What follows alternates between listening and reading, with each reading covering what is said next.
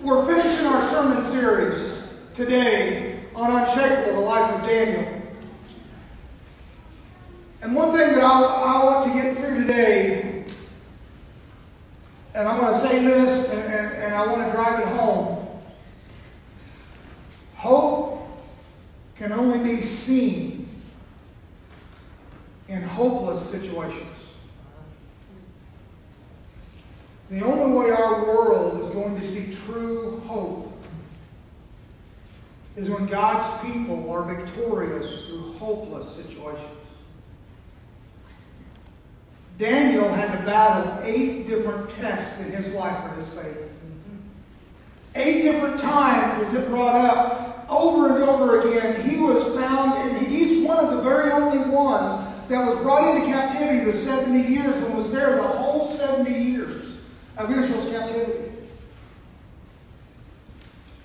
It wasn't the same up butting heads with him. It was generations after generations. People brought up new faces of new people that didn't like him. And they didn't like him just because he believed in God. That was it. They didn't like him just because he had a faith in God. And his faith in God was proven because he was standing out. His professional life, he stood out because he wasn't just good at what he did to bring attention to himself. He was good at what he did because he was glorifying God in what he was doing, and that brought attention to himself. He brought attention to himself and he stood out because of his personal character. There are certain things that he wouldn't do because of his belief in God. He stood out he stood out amongst the crowd because of his public commitment to God. He publicly said, I serve a risen Savior, so there are certain things I will not do. Now, I don't want you to remember their names as Shadrach, Abednego, and Belshazzar. I want you to remember these names. Daniel, God will be my judge of my life. Hananiah, Jehovah is gracious, and Jehovah is the giver. So Jehovah is going to be the one that takes care of me. Mishael, who is like my God? You see, when you're going through a hopeless situation, people are going to be drawn to the fact that you're still worshiping. You're still praising. You're still giving honor and glory to God, even when no one else is, even when everyone else would have quit a long time ago. You're still singing praise, and you're still saying, Who is like my God? because it's like the last name, Azariah, who Jehovah helps. And see, I want to give you some, some rehash and some reminder. Week one, we talked about having convictions. And, first of all, to come to Christ, you've got to be convicted of your sins, know that you're a sinner, know that there's right and wrong. And then when you're convicted of your sins and, and have conviction, then you're going to have true con- conversion and once you have true conversion, then you're going to have things that you can stand on and have conviction. And, and with genuine conversion genuine conviction. And that's when we concluded that when I depend on God, I'm unshakable. That my foundation is rooted deep. Then we talked about adversity. We talked about 1 Peter 5 8. Be very careful. Your adversary, the devil, prowls around like a roaring lion, seeking who he may devour. So when you get weak, be careful. One of the reasons why we want you to come forward for prayer is when you're weak, you're vulnerable. And when you think you can handle it on your own, that's when you start messing things up. One of the strongest you can be is when you can finally get to the place where you're strong enough to say, I need help. That's not weak. That's strength. When you can finally say, I can't do it on my own. I need help. And we talked about faith under fire.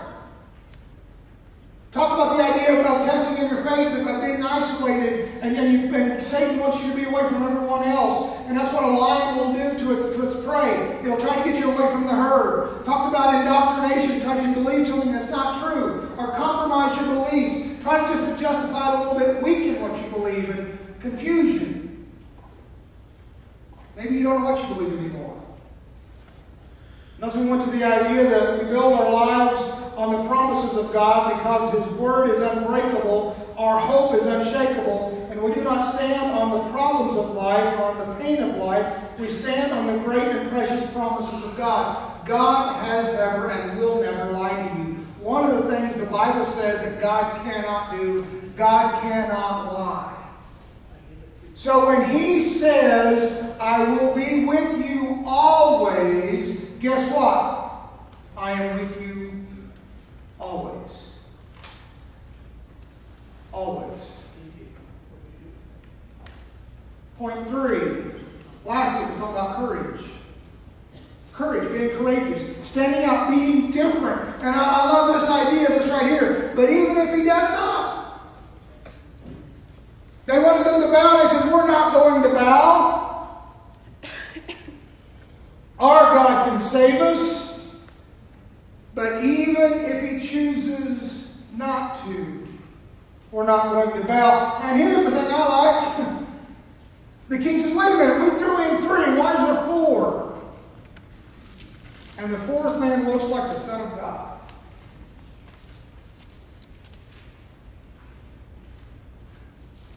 You ever notice they don't tell us what happened to the fourth man? The three, Hananiah, Mishael, and Azariah, they take out of the fire. They never tell us what they did to the fourth man.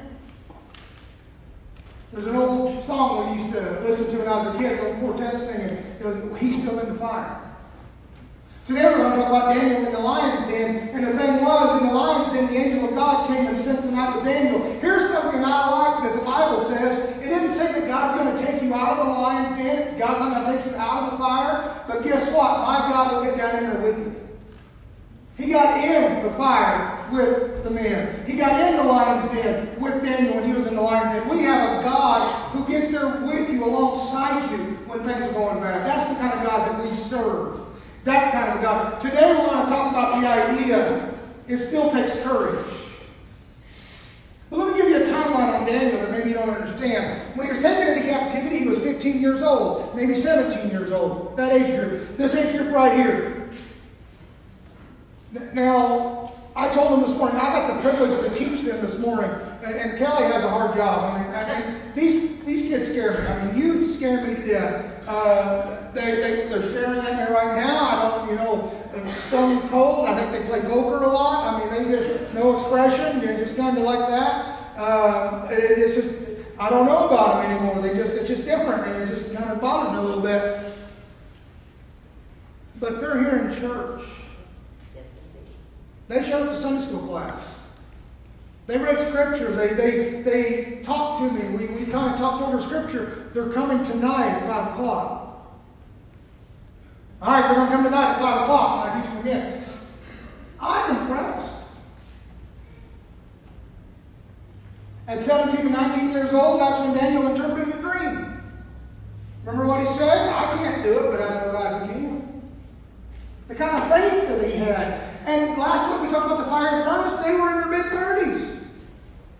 You see, the life of Daniel shows us that we're going to be hit constantly. Today we're talking about him in the lion's den. He was 81, 83 years old. How many here are over 75? How many over 75 years old have a fight between their body and their brain? Their brain says one thing and their body says something else. Your brain says, oh, you can still run a mile, and your body says, do it and die, family. Anybody, how many at the age of 50 are having that fight right now? 50 year old, yeah, the hands go up. You know what I'm talking about. Yeah, your body's going, you can't do that no more. 80 years old.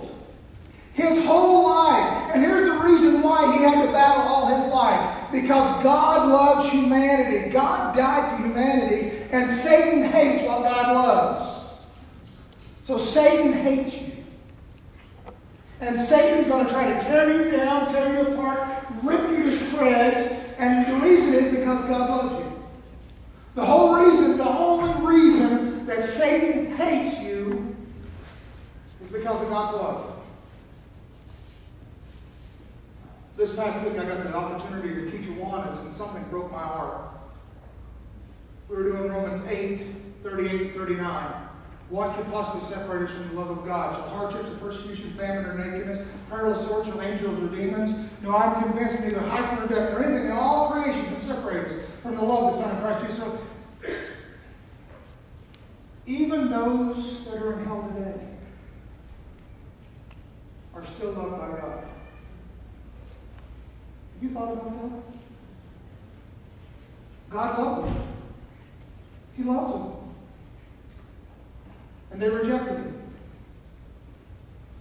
I've seen parents that love their kids, but the, parents, the kids don't love them back. And the parents would do anything for those kids. They, they're just heartbroken. Would, would help them in any way they can. But the love doesn't get returned. And I just see that. It just breaks my heart. And that's how God's relationship with, with us, with humankind. God loves us, but we don't love Him back. And there are people in hell because they would not accept God's love.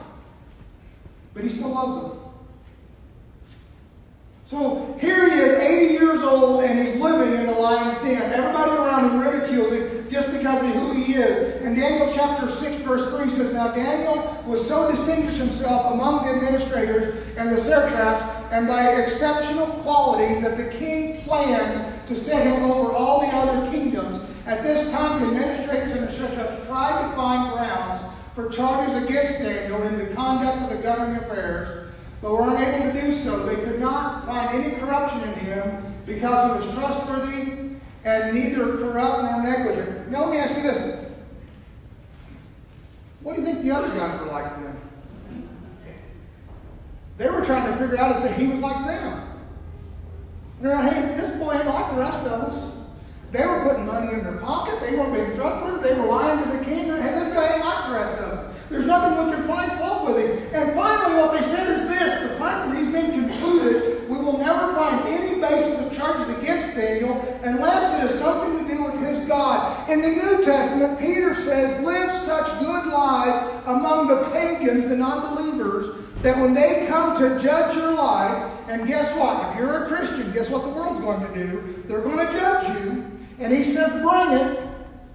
A Christian shouldn't ask people not to judge them, a Christian should say, bring it.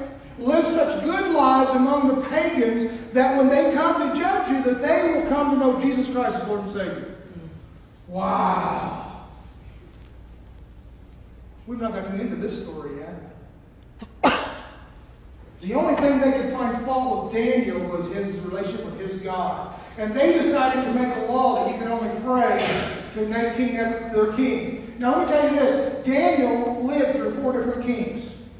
This is King Darius. The next king we're going to talk about is King Cyrus. We're not going to talk about him. You go home and read about him. But four different kings, and Daniel was found faithful to serve every foreign king. Every king, he was the same person day in and day out. They said, you can't pray to anybody but the king. Daniel said, you know what? You do what you need to do, and I'm going to do what I need to do. When I was a kid, there was a movie that came out. It was a B-class movie called No Retreat, No Surrender. If you ever get a chance to watch it, love that movie. No retreat, no surrender. That's the way we got to live our lives as Christians. You can't fight Satan with your backside. If you ever look at the weapons and the army of God, the armor of God, there's nothing that protects your backside. You fight Satan full front, head on.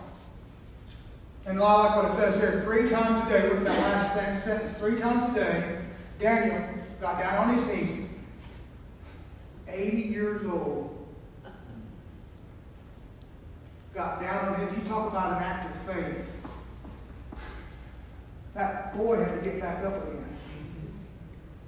80 years old, got down on his knees, and look what he prayed, giving thanks. He's in the middle of getting ready to be punished.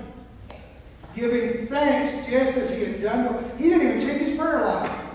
You do what you need to do, and I'm going to do what I need to do. If you're going to put me in jail, so be it. If you're going to do whatever you're going to do, I don't care what it is. I've got to serve my God. And look what they says. These men were waiting to catch him. They found Daniel praying, asking for God for help. You know what Daniel was asking God for help was?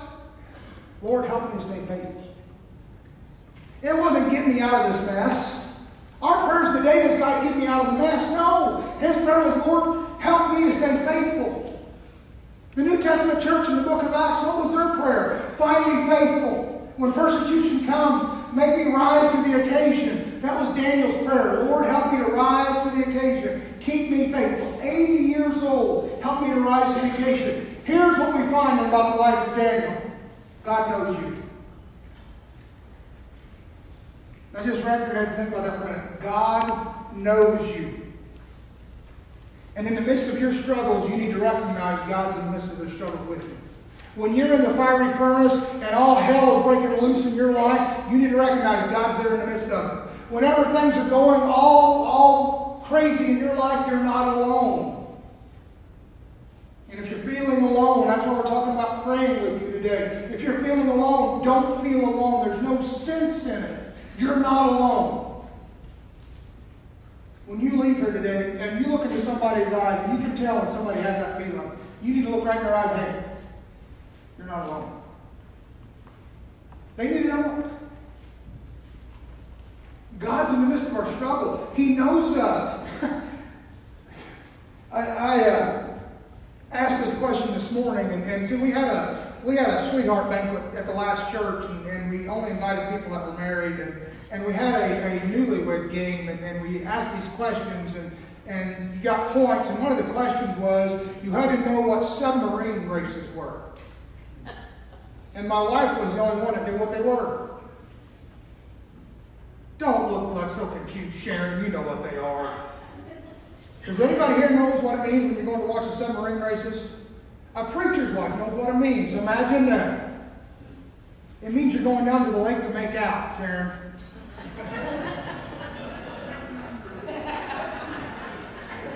Gail woo! Take your vitamins with you, Gail.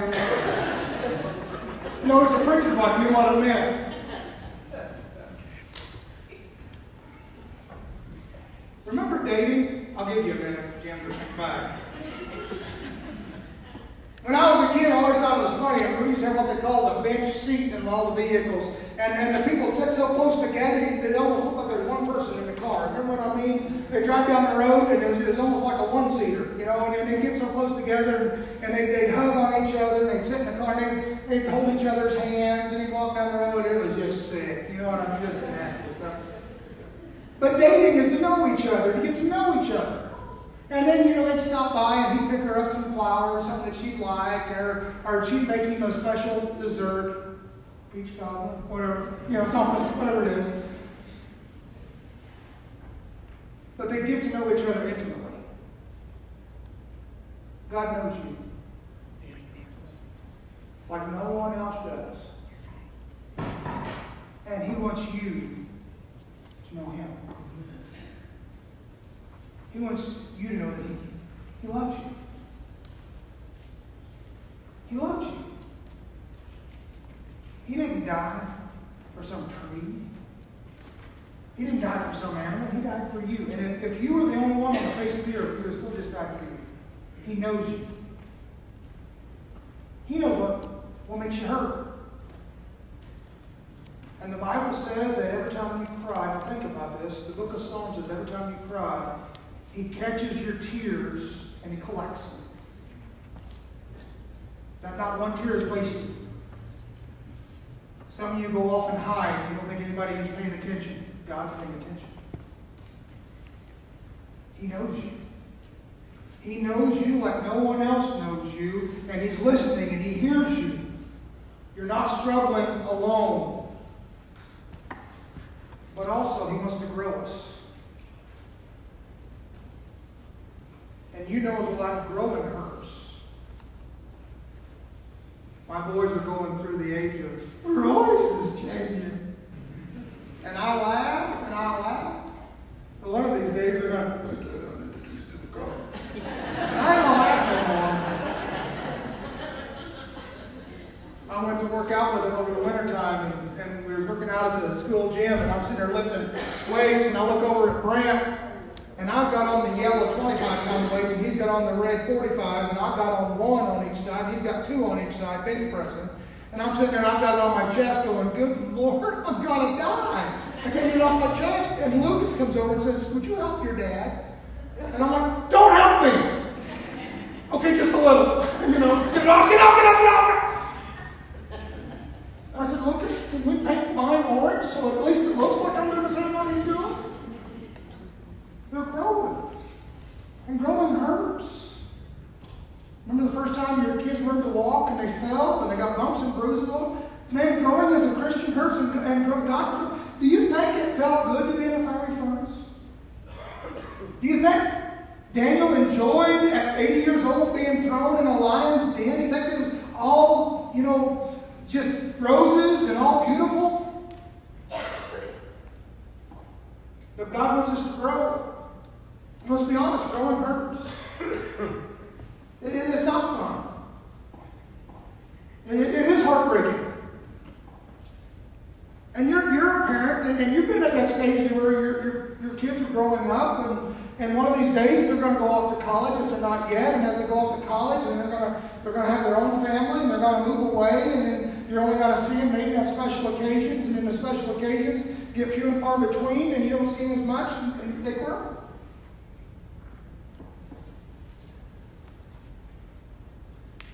Growing hurts.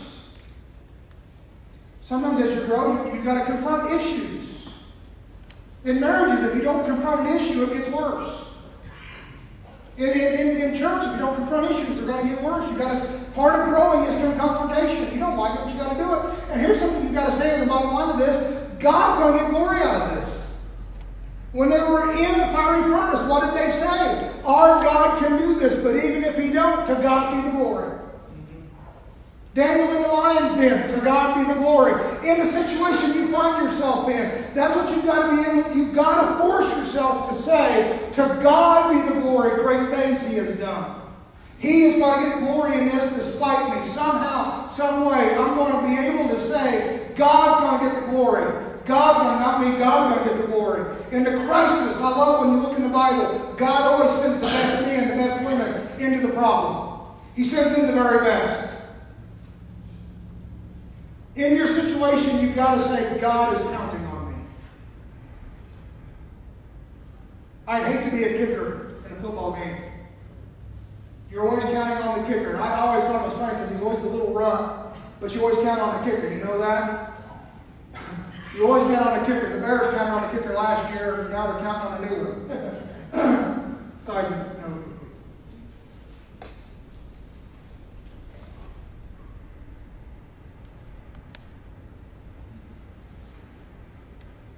Just think about that for a minute.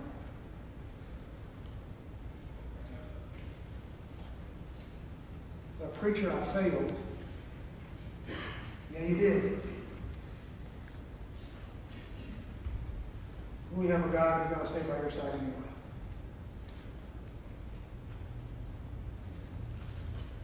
The preacher, I didn't stay strong in the lion's den. I didn't stay strong in the fiery furnace. But we have a God who's going to stay by your side. We have a God who's going to pick you up, dust you off, put you back on your feet.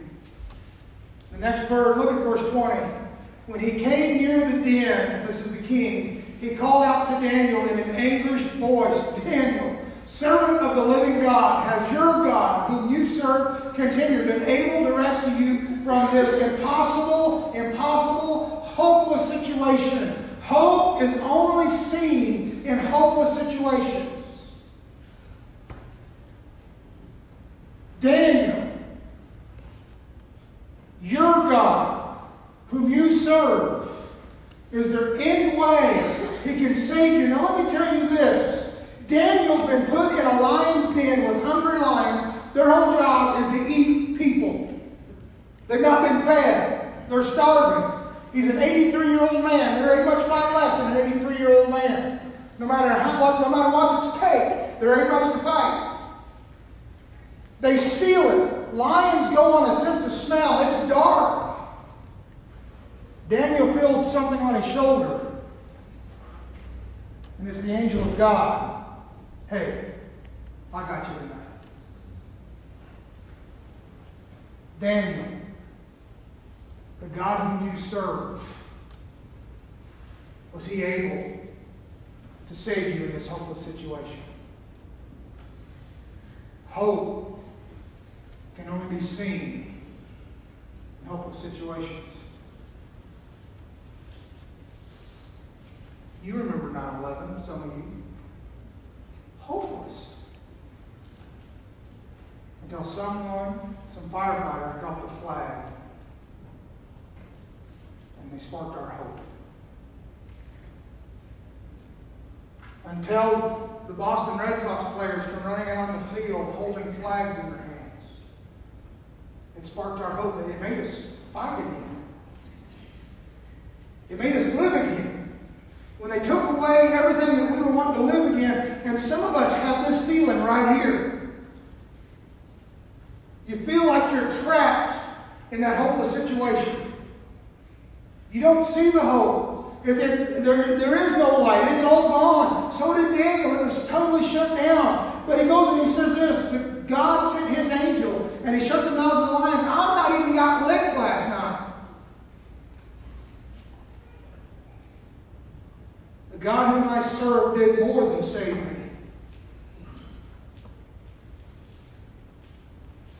Faith is not the absence of emotion, it's the presence of hope.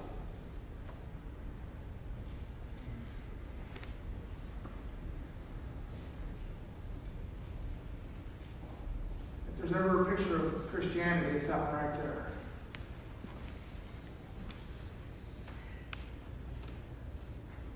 The Lord is my shepherd. I shall not be in He makes me to lie down in the greenest of pastures. My provisions have been met. He takes me beside the sweetest of waters. And when it's dark, He restores my soul. Verse 4 of that Yea, though I walk through the valley of the shadow of death, and I've got wolves prowling all around me, biting and yelling and screaming and howling all, all around me. I will not fear. For his rod and his staff, they comfort me.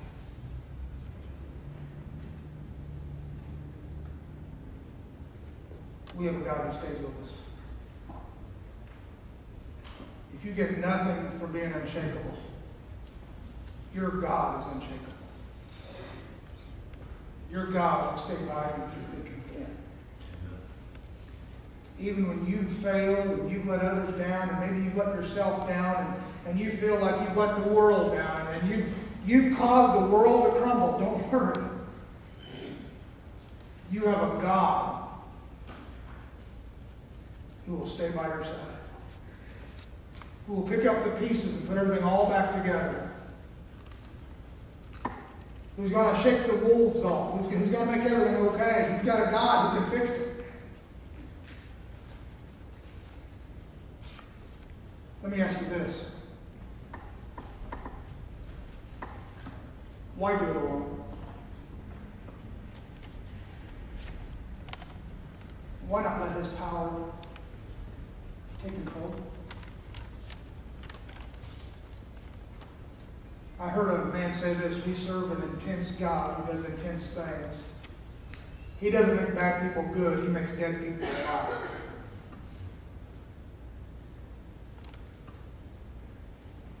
You have a God who stays.